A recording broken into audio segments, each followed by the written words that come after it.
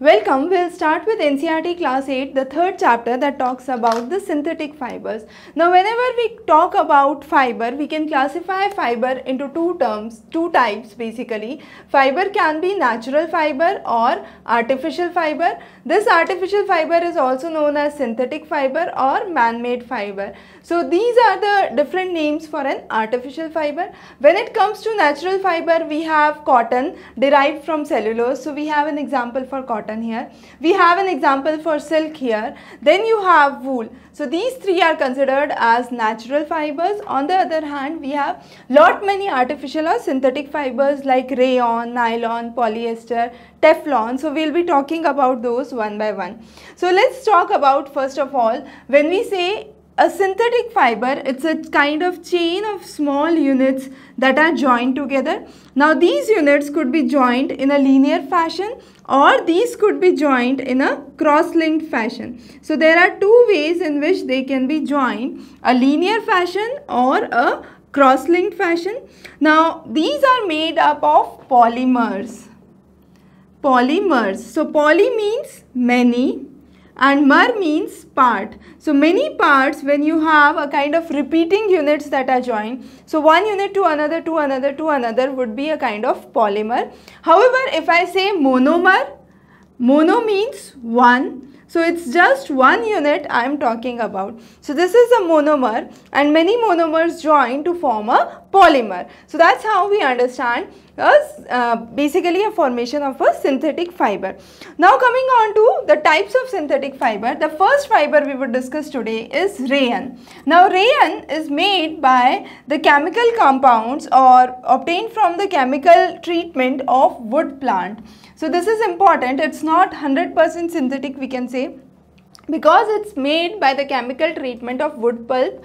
Now this rayon which is also known as artificial silk can be dyed into different colors. It can be mixed with cotton to produce bed sheets. It can be mixed with wool to produce blankets and carpets.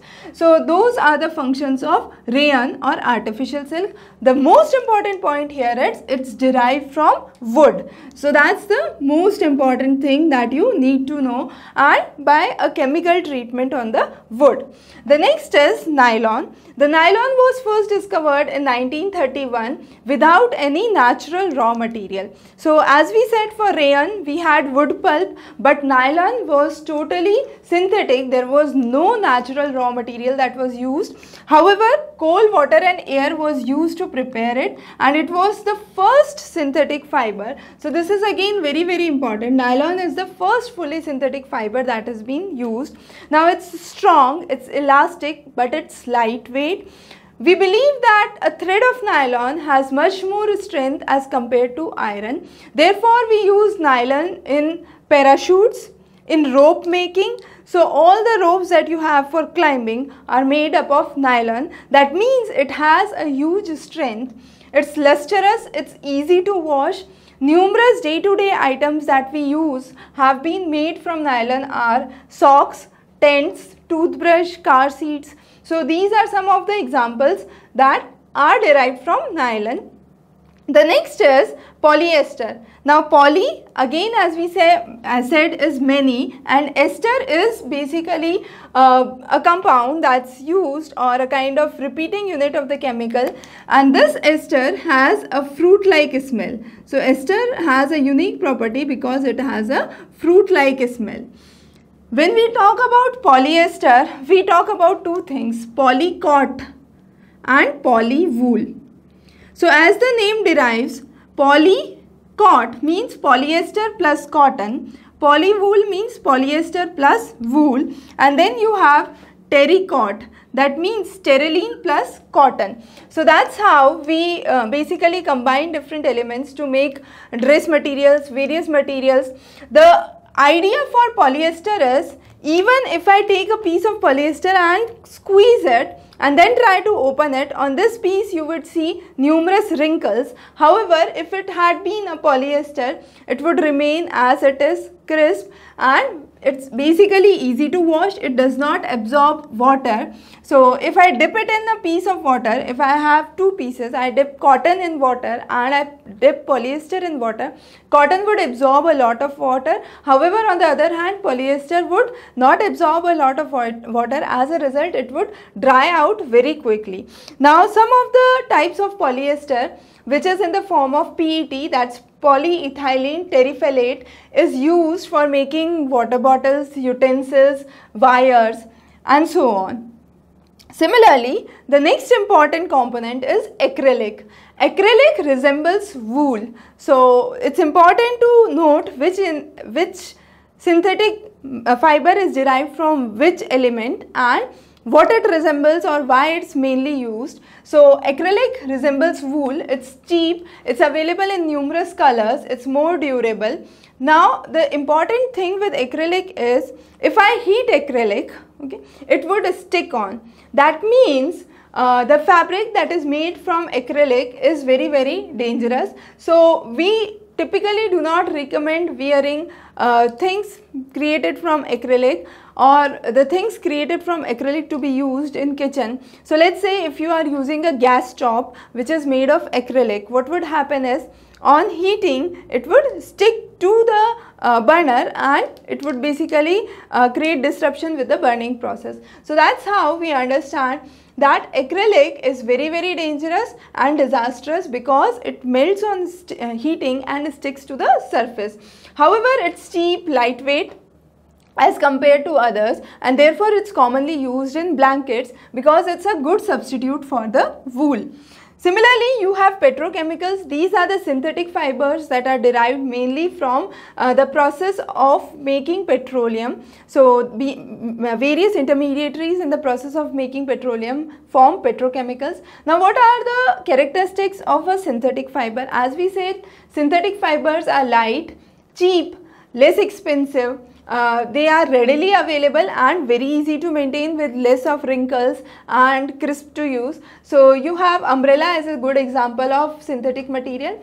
When it comes to plastic, we have plastic that is being used in a day-to-day -day life. So let's say a pen, a marker, a scale, uh, all these are derived from plastic. Then you have chair on which you sit, the ropes that you use. All these are derivatives of plastic, the toothbrush, the socks. So um, toothbrush basically. So all those are made up of plastic in one form or the other. Now these are available in various sizes and shapes. These can be molded as per the shape required. Then they can be recycled. I can melt them and recycle them and use them. I can reuse them from one purpose to another. They, I can color them out. Those could be melted and rolled out into flat sheets. Now there are two types of plastic that's very very important. It's thermosetting plastic and thermoplastic. So thermoplastic let's say is a plastic of this marker. When I melt it and I press it, it could be reshaped into another form. I can make it from round to a flatter surface and that's why we that's why we call it as a thermoplastic. Now thermoplastic is basically used for manufacturing of toys, manufacturing of combs or uh, scales and so on. Good examples are polythene and PVC. However, the other plastic is thermosetting plastic. Now, as the name suggests, it is setting. Now, once it is melted, it is set. If I reheat it, its shape would not change, its configuration would not change, it wouldn't be softened out by heating. Good examples are bakelite and melamine. So two types of thermosetting plastic, bakelite and melamine. Uh, bakelite basically is a poor conductor of heat and electricity. Uh, where bakelite is used is the switches. Then you have the handles of the utensils.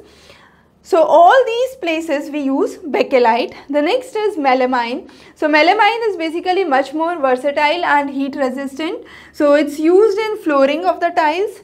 Then it's used in the fabrics that are used for resistance to fire. So uh, let's say in fire extinguishers we use melamine. So melamine and bakelite are thermosetting plastics however PVC polyethylene are thermoplastics.